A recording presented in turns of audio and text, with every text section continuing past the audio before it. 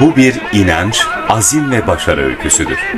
Bu öykünün kahramanı Ferdi Tayfur. 1945 yılında Adana'da dünyaya geldi.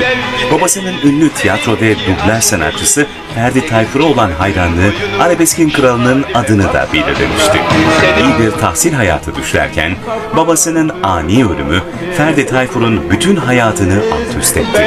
Çiftliklerde çalışarak ailesine katkıda bulunurken bir yandan da şov dünyasının büyüsüne kapılan Ferdi Tayfur İstanbul'a geldiğinde henüz 16 yaşındaydı. Yeteneğini göstermeye çalışırken bir yandan da hamallık yapan, parklarda yatan sanatçı umduğunu bulamayınca ana ocağına döndü. Gönlünde yatan şarkıcılık tutkusunu dindiremeyince yeniden İstanbul'a geldi ve bu sefer iki plak yapmayı başardı.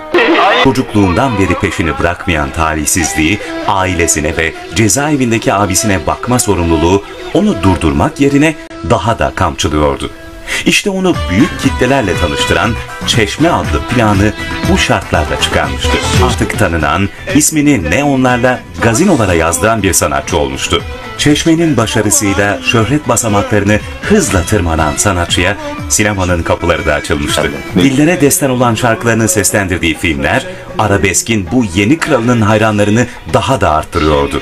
Hayat arkadaşı Necla Nazır'la da işte bu film setlerinden birinde tanıştı. 40'a aşkın albüm ve 30'dan fazla sinema filmi yapan Ferdi Tayfur'un hayatı tam da yazsam roman olur denilen türden. Zaten sanatçı da bunu yaptı ve 2003 yılında kaleme aldığı Şekerci Çırağı isimli kitabında küçük yaşta girdiği hayat mücadelesini tüm samimiyetiyle paylaştı.